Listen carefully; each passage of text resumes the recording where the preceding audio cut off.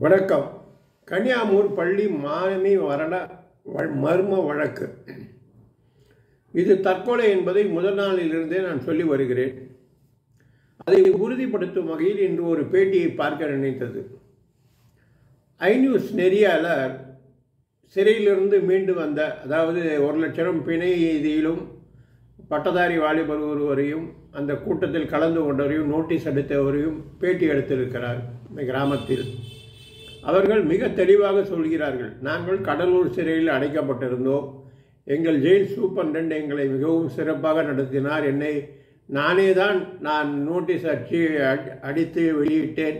எல்லோரையும் அடைத்தேன் கலவரத்துக்கு அழைத்தேன் இந்த பதிமூணு பதினாலு பதினஞ்சு பதினாறில் எதுவுமே நடக்கவில்லை என்பதால் நாங்கள் இதில் ஈடுபட்டோம் என்றெல்லாம் சொல்லி உண்மையை சொல்லி இருக்கிறார் அவரிடம் இந்த ஐ நியூஸ் நிருபர் நிறுவு துருவி துருவி கேட்கிறார். கலவரத்தில் கருப்பு சட்டை போட்டுக்கொண்டு யாரோ வெளியிலிருந்து வந்து தாக்கினார்களே அது உண்மையான.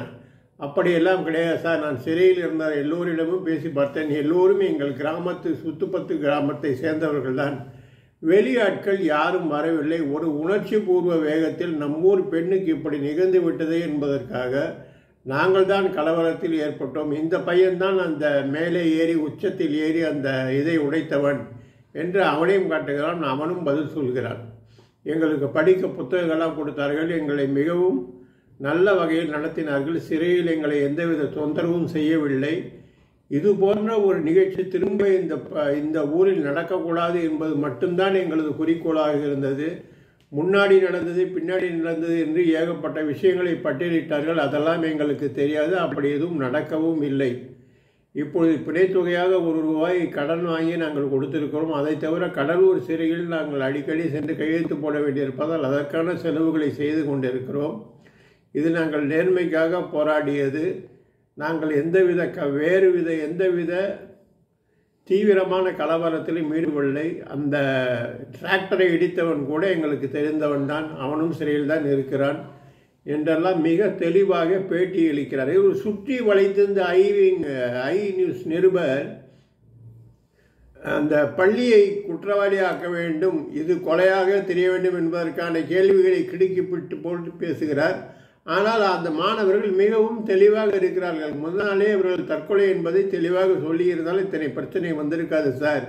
அதை தான் கொலை கொலை கொலை என்று மாற்றி இவர்கள் அதை பெரு மிக பெரிதாக ஊதிவிட்டு அந்த பெண்ணின் தாயையும் குழப்பி விட்டார்கள். குறிப்பாக அந்த அட்வொகேட் இது போல செய்து கொண்டிருக்கிறார் என்கிற ரகசியத்தையும் போட்டு உடைத்து விட்டான்.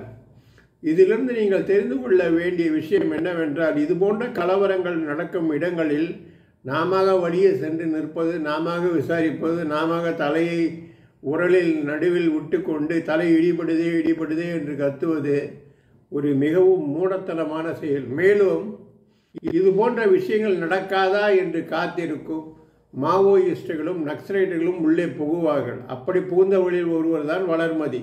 அவர் இந்த பேச்சை எடுத்து பேசுகிறார். ஏன் தமிழ்நாடு அரசு பெட்ரோல் விலையை குறைக்கவில்லை? ஏன் தமிழ்நாடு அரசு வெள்ள கட்டுப்பாட்டை செய்யவில்லை என்பதெல்லாம் போன அரசில் அட்டையை வைத்துக்கொண்டு குரல் எழுப்பினீர்களே இந்த இந்த அரசில் பேச வேண்டியது தானே அதை பேசுவதற்கான அருகதையோ உரிமையோ உங்களுக்கு இல்லையா? இல்லை திறமை இல்லையா? இல்லை பயமா? ஸ்டாலின் அரசின் மீது பயமா? அதையெல்லாம் விட்டுவிட்டு எங்கு இளைத்தவர் இருக்கிறார்களோ அவர்களை போய் தூண்டிவிட்டு இது போல இது கொலை கொலை கொலை கொலை கொலை என்று சொல்லுங்கள் என்று சொல்லி கூவிக்கொண்டிருக்கிறார்கள் அந்த பள்ளியை நடத்த விடாமல் இத்தனை நாள் ஆகியும் அந்த பள்ளி பராமரித்து வேலைகள் முடிந்தும் அந்த பள்ளியை திறக்க ஆர்டருக்காக அவர் காத்திருக்கிறார். இது எவ்வளவு மிகவும் கொடூரமான விஷயம். நீங்கள் ஒன்று யோசித்து பாருங்கள். நீங்களே பள்ளி தாளாளராக இருந்து நீங்களே பள்ளி செயலாளராக இருந்து யோசித்து பாருங்கள். ஒரு ஒரு ஒரு பள்ளியை கட்டமைப்பது ஒரு கோவிலை கட்டமைப்பது போல மூவாயிரத்தி ஐநூறு மாணவர்களை உருவாக்கிய ஒருவர் ஒவ்வொரு மாணவராக இப்படி இழக்க துணிவாரா ஒவ்வொரு மாணவராக இப்படி செய்ய துணிவாரா என்பதை நீங்கள் கொஞ்சமேதும் அடிப்படை மூளையை வைத்து யோசித்து பார்க்க வேண்டும். நான் அந்த தாளாளருக்கு சப்போர்ட் செய்யவில்லை. அந்த பள்ளியின் பள்ளியில் ஏற்பட்டிருக்கும் தற்போதைய நிலைமைக்கு சப்போர்ட் செய்யவில்லை. அந்த பெண் செய்து கொண்டது தற்கொலைதான். இதை கொலைதான் கொலைதான் கொலைதான் கொலைதான் கொலைதான் என்று நீங்கள் சொல்லி கொண்டிருந்தால் அது நிச்சயம் கொலையாக போவதில்லை. தற்கொலை தற்கொலைதான். இஞ்சி மரப்பாவை கையில் வைத்துக்கொண்டு இது இஞ்சி மரப்பா இல்லை. கமர்கட்டு கமர்கட்டு கமர் கமர்கட்டு கமர்கட்டு கமர்கட்டு என்று எவ்வளவு நாள் நீங்கள் சொல்லிக் கொண்டிருப்பீர்கள். இப்போது இருக்கும் பல பத்திரிகையாளர்களின் நோக்கம் என்னவாக இருக்கிறது என்றால் இந்த பள்ளியின் இந்த தற்கொலையை கொலையாக மாற்றி இதை பிஜேபியின் மீது போட வேண்டும் என்ற ஒரு வெறியிலேயே செயல்பட்டு வருகிறார்கள். மூத்த பத்திரிகையாளர் மணி போன்றவர்கள் இது போன்ற வேலைகளில் ஈடுபட்டு வருகிறார்கள். இவர்கள் நக்சலைட்டுகளில் வருகிறார்களா மாவோயிஸ்டில் வருகிறார்களா வலதுசாரியில் வருகிறார்களா என்பது தெரியவில்லை. இவர்களெல்லாம் பிரணாப் விஜயனுக்கு கொடிபிடிப்பவர்களாக இருக்கிறார்கள் கமலை போன்று. இவர்களை வைத்துக்கொண்டு இந்த நாட்டில் எப்படி ஒரு அமைதியான நிலைமையில் ஒரு சூழ்நிலையில் ஒரு பள்ளியை நடத்த முடியும்? இப்போது என்ஆர்ஐ ஒருவர் அதை விலை பேசுவதாக வெளி செய்திகள் வெளிவந்து கொண்டிருக்கின்றன. ஒரு எண்ணாயிரம் விட்டுவிட்டு இந்த நாட்டை விட்டே போய்விடலாம் என்று நினைக்கும் அளவுக்கு ஒரு பள்ளி தாளாரரை இவர்கள் தள்ளுகிறார்கள் என்றால் இவர்கள் எத்தனை வகையான குடைச்சல்களை எத்தனை விதமான போலி யூடியூப்கள் மூலம் பரப்பியிருப்பார்கள்? போலீசார்கள் ஜெயிலிலிருந்து வெளிவந்த கைதிகள் மிகவும் தெளிவாக சொல்லுகிறார்கள் எங்களை போலீசார் துன்புறுத்தவில்லை அடிக்கவில்லை. இது போன்ற வயதில் சிறு வயதில் ஈடுபடாதீர்கள். உங்களுக்கு மிகவும் பிரச்சனை வரும். பின்னால் நீங்கள் வெளிநாடு வேலை செய்வதற்கோ இல்லை வேறு கல்லூரியில் படிப்பதற்கோ மேல் படிப்பு படிப்பதற்கோ போகும்போது இது அஃபீஷியலாக ரெக்கார்டு செய்யப்பட்டு விட்டால் உங்களுக்கு பாதிப்பெறும் வரும் என்று சொல்லி தினமும் அறிவுரை செய்வதாக அந்த கைதியை உள்ளே இருந்த கடவுளூர் சிறையில் உள்ளே இருந்த சிறுவன் சொல்லிக் கொண்டிருக்கிறார். இதை போலீஸ் சொல்ல வேண்டிய அவசியம் இல்லை. தற்பொழுது இருக்கிற எஸ்பி மிகவும் திறமையாக செயல்பட்டு மாணவரின் வாழ்க்கை பாழ்பட்டு விடக்கூடாது என்பதற்காக பல விஷயங்களை அவர்களுடன் ஷேர் செய்து வருகிறார். உண்மையான உண்மையாக நடந்ததை தெரிவிக்க மக்களுக்கு தெரிவிக்க அவர் கொண்டு செல்ல மிகவும் பாடுபட்டு வருகிறார் என்பதே உண்மை. இந்த நிலையில் மற்ற பள்ளி கூட்டமைப்புகள் இப்போது மௌனமாக இருக்கின்றன. காரணம் அவர்கள் மேலும் மேலும் இதை வந்து அவர்கள் பேட்டிகள் கொடுத்து அதை கொடுத்து தொண்டை கொடுக்க விரும்பவில்லை. இங்கிருக்கும் சில பத்திரிகையாளர்கள் சீனியர் பத்திரிகையாளர் என்று சொல்லிக்கொள்ளும் பலர் திரும்ப திரும்ப அவர்களுக்கு தொலைபேசியை அழைத்து தொந்தரவு கொடுத்து வருகிறார்கள் என்பதே உண்மை. இது வந்து தற்கொலை என்று ஏற்கனவே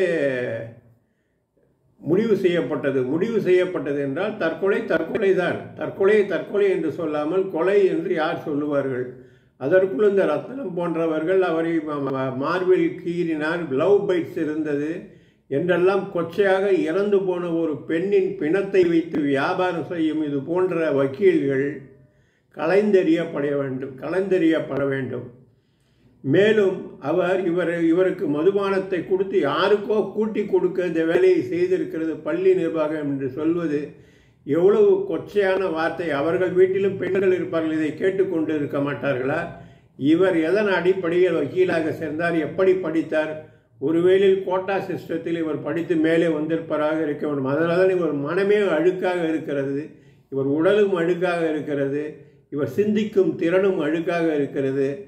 அந்த பள்ளியின் மீது குறை செல்ல வேண்டும் குறை சொல்ல வேண்டும் என்ற நோக்கம் மட்டுமே அவர் மனதில் இருக்கிறது. இதை வைத்து என்ன செய்யலாம்? என்ன நம் சம்பாதிக்கலாம்? எவ்வளவு காசு பார்க்கலாம்? என்பதிலேயே இவர்கள் அந்த பெண்ணின் தாயாரை குழப்பி திரும்ப திரும்ப அவர்களை அங்கும் இங்கும் நடப நடமாட வைத்து அவர்களை முக்கால் பைத்தியமாக்கி முழு பைத்தியமாக இந்த கேஸ் முடிவதற்குள் முழு பைத்தியமாக அவர்களை மாற்றிவிடார் என்பது போன்றே எனக்கு தோன்றுகிறது. இது போன்ற நிகழ்ச்சிகளை நாம் உன்னிப்பாக கவனிக்க வேண்டும். யார் மீது தவறு இருக்கிறது என்பது பார்த்த உடனே தெரிந்துவிடும். இதற்கு நீங்கள் அதிக சட்டமும் அதிக ஆராய்ச்சி திறனும் அதிக மூளை செலவும் செய்ய வேண்டிய அவசியமே இல்லை. கிராமத்துக்காரர்கள் எல்லாரும் எல்லாம் தெரிந்தவர்கள். படித்தவனை விட எம்எஸ்சி மைக்ரோபயாலஜி படித்தவுடனே MSc NEET NEET MSc physic physics படித்தனை விட பிஎஸ்டியில் ஃபிசிக்ஸ் படித்தனை விட ஒரு பாமர விவசாயிக்கு பார்த்தவுடன் ஒரு விஷயத்தை கணிக்க நன்றாக தெரியும். இதுதான் உண்மை. இது இல்லாமல் திரும்ப திரும்ப திரும்ப இந்த விஷயத்தை பெரிதாக்கி கொண்டே போகும் வக்கீல்கள் ஊர் ஊராய் போகும் வக்கீல்கள் அங்கங்கே பண வசூல் செய்து கொண்டிருப்பதும் அதுவும் ஜெயம் என்கிற நபர் ஜெயக்கொடியை நாட்டி பல இடங்களில் செல்விதான் என்னை அனுப்பினார் என்று சொல்லி வசூல் செய்வதும் மிகவும் அபத்தமாக இருக்கிறது. சிபிசிஐடி இதை கண்டுகொள்ள வேண்டும்.